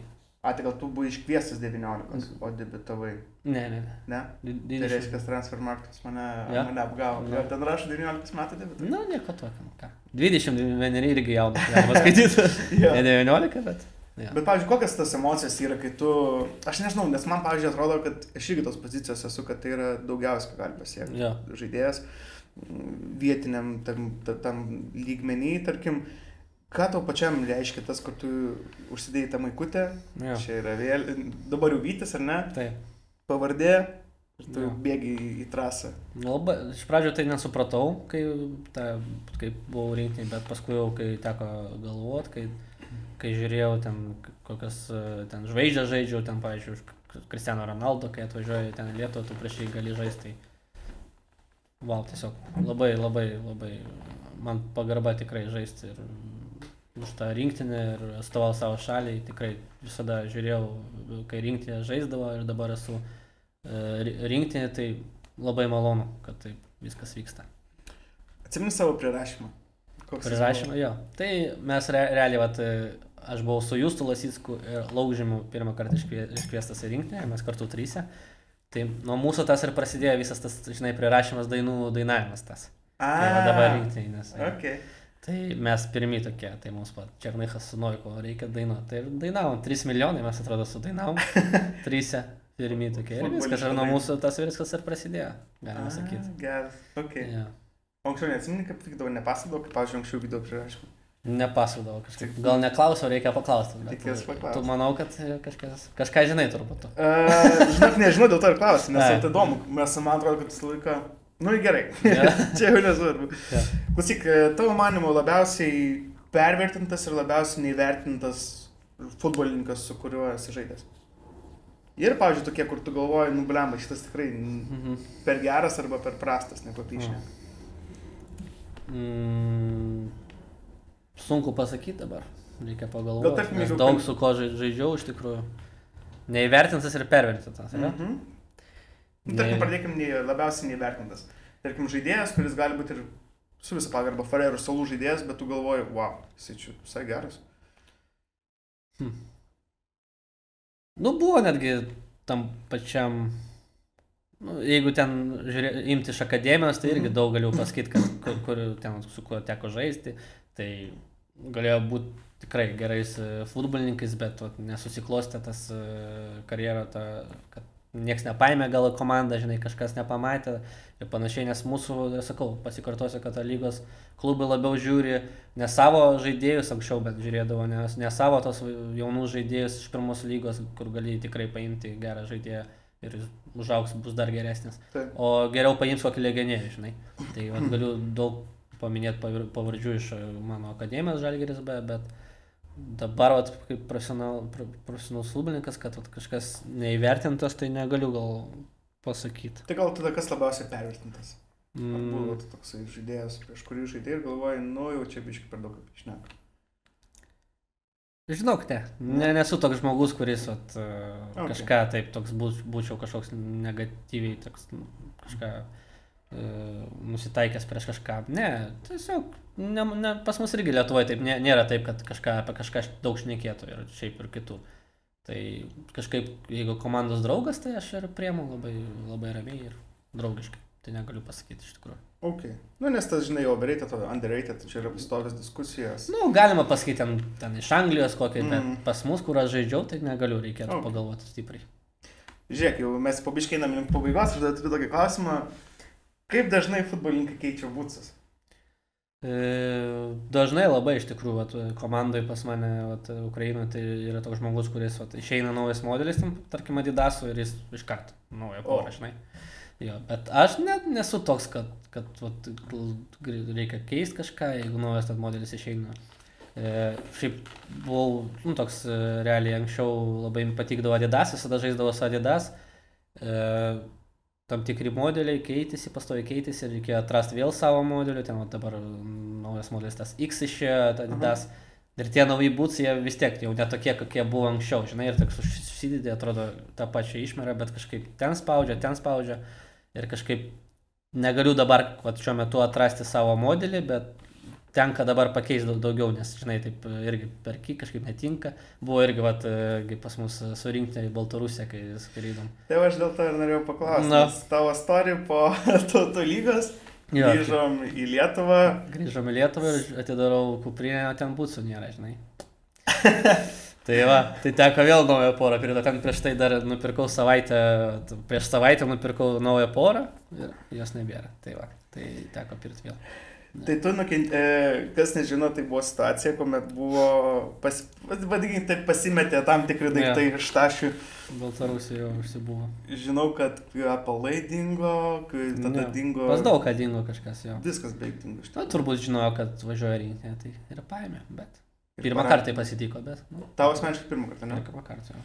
Nes vat net skrydom, atsimenu, į Braziliją su Žalgeriu pasirinkimas buvo. Tai buvo taip, kad kažkur tašęs pasiklydo, bet niekas nieko nepaėmė. Tai, O. tai bet, vat, kad būtus paėmė pirmą kartą. Iš vis. Keista. Nes čia ir buvo tas atvejis, jeigu neklystu, e, mes grįžom, mes grįžom į Lietuvą, man atrodo, e, praėjo naktis ir mes kitą dieną iš karto turėjom skristi Kazakstaną kažkaip. Tai ten mes naktį Jo. vėlai grįžom, išsimiegam ir ryte skrendam. Mhm. Tai kiek žinau, aš kalbėjau su rinktiniu vadovais, kad jie per naktį skambino Humeliui, kad Humelis, pavyzdžiui, padarytų tenais paradinius treningus, Mhm. tada marškinėlius, nes Jo. marškinėlius pavogė, tada vi- visus būtsus, visus žaidėjai, tai aš galvoju, wow, kaip įmanoma taip pat operatyviai, o taip pat realiai per nepilnas 12 valandų vos ne visą rimta. Nu jo, jo, tai aišku, čia. Ir todėl ir rinktinė yra, kad e, Nu, tai. jo, čia aukščiausias lygis turėtų būti visur, tai Ja. organizacija. Nes dėl ko aš paklausiu apie būtus dar, nes aš, pavyzdžiui, būtus nešiočiau tol, kol man šių pirštas neišlys. Tai žinok, jo, aš irgi taip nešioju būsus, Ane? kol man, vat, jeigu man patogu, tai aš nešiosiu, kol ten nesuplyšė ir viskas. Okay. Ir tada pakeisiu porą. Tikrai ne, nesu toks. Daug kitės. Uh, klausyk, esu girdėjęs, kad turi savo fan klubą Instagram'e. Ten, žinai, ten kažkoks vaikas sukūrė, kad gauti marškinėlį, žinai. Ai, rimtai? Nu, jo. buvo motyvas toksai? Taip, A. šimtas procentų. Ten vat, buvo kai karantinas, tai vat, irgi sukūrė tą fan klubą, tipo, rašė, Na, ten okay. kažką metė, paskui kažkaip dingo, vėl naujas fan klubas atsirado, vėl kažką, paskui gal marškinėlį, žinai. Nu, ten normalus dalykas, tai žinai, vaikai sugalvoja, kaip ką daryti. Tai ne, nėra tokio, kad fan klubo, kad ten kažkas ves, vestų ten ir panašiai. Čia Supratau. labiau vaikai taip. Ok. Klausyk, tu turi kažkokią pravardę? Nežinau, ar tai būtų futbolė, ar gal už futbolą, ar kažkaip tai kitaip vadina? Tai ten paprikolo, žinai, visi ten, kai vaikai, vaikas buvo ten ir dabar tai rusas vadindavo. Rusas. Ai, rusas. jo, jo. Lemba. Na, Biški toksai sakyčiau. nu, žinai, kaip iš lietuvių, rusų, žinai. A, gal Jo. negeriausia. Jo, bet taip, ne, nėra tokio kažkokio. Da, Danė vadina Danė iki šiol, tai yra taip. Ai, dar sumeluosiu. Vadina mane, žinai, lisai, tipo. Lisai, tipo, plikas. A, Nes pas plikas. mane, žinai, čia biška. Ok. Teks paskui, mano tėvas jau, žinai, irgi plikas. Tai turbūt biški. genai. A, Ja. Tai jo, tokią pravardę turi dar. Na, aš jau žinau, koks konkursas bus. tvarkoj, Blitz. Blitz klausimynas, aš užduodu trumpus klausimus, tu atsakai nebūtinai trumpai. Uh, laimėti čempionų lygą ar su Lietuvos rinktinė sužaisti Europos čempionate? Sunkus klausimas, o galima pasirinkti, ne? Du. Nu, galim pasiplėtoti, galima. Iš tikrųjų, iš tikrųjų, čia labai geras irgi klausimas. Čia su Lietuvos rinktinė, pažiūrėjau, Europos čempionate čia būtų iš vis, eičiau į istoriją turbūt. Ir čempionų lygų irgi eičiau kaip Lietuvos futbolininkas į istoriją. Tai labiau, nu, turbūt ir tai, ir tai labai norėčiau. Jo, bet, nu, realiai mastant, tai labiau gal ir būtų tokia, tai kažkaip maloniau sužaisti su Lietuvos rinktinė Europos čempionate. Gerai žaisti, bet kad niekas tavęs nepastebėtų, ar žaisti prastai, bet visi girtų.